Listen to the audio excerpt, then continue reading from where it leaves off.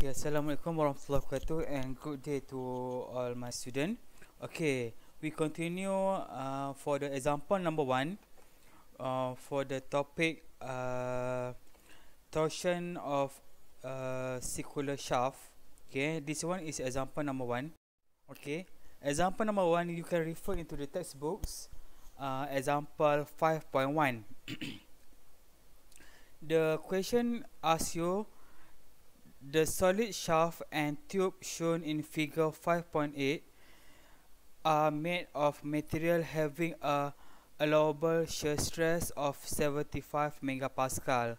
Determine the maximum torque that can be applied to each cross section and show the stress acting on the a small element of material at point A of a shaft and point B and C of the tube. Okay, so the example number one give the information is allowable. Uh, shear stress is 75 megapascal. And then the radius of the solid shaft is uh, 75 uh, oh, sorry uh, 100 millimeter Okay, for the solution, okay, first first step you need to find the section properties which is uh, which is J polar moment of inertia of the solid and tubular shaft.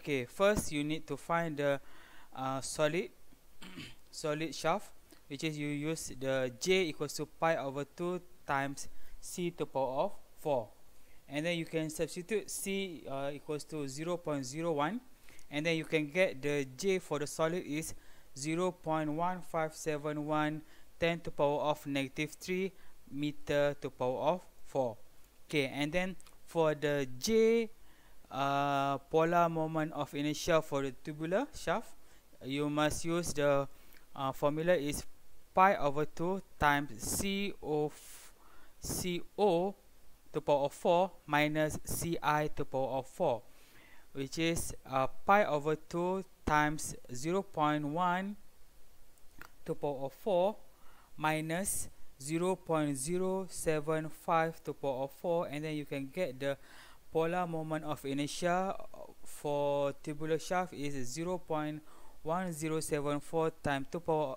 10 to power of negative 3 meter to power of 4 and then the next step you need to find the shear stress. Okay so the maximum torque in solid shaft okay so you must use the uh, the formula tau max equals to tc over j. And then tau maximum you know from the question which is 75 uh, 10 to power of 6 newton per meter square equals to t uh, that you need to find. And then c is 0.1 meter divided by J which is uh, J for the solid is 0 0.001571 meter to power 4 and then you can get the maximum torque for the solid shaft is 108 and 8 118 kilonewton meter. Okay and then for the maximum torque in tubular shaft you need to find tau max equals to TC over J same goes with the uh, solid shaft. And then tau maximum is 75 10 to power of uh, uh, 10 10 to power of 6 uh, Newton per meter square equals to T for the tubular shaft times 0.1 uh, meter divided by 0.0001074 and then you can get the maximum torque for the tubular. Sorry this one is tubular T. Uh, equals to 18.80.5 kilonewton meter.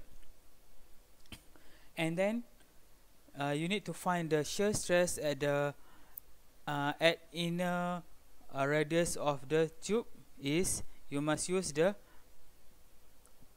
uh, tau i equals to tau c divided by uh, tc divided by j uh, so you need to find the uh, tau i which is uh, equals to 80.5 kilonewton meter times 0.075 meter divided by 0.0001074 and then you can get the uh, shear stress at the inner radius of the tube is 56.2 megapascal.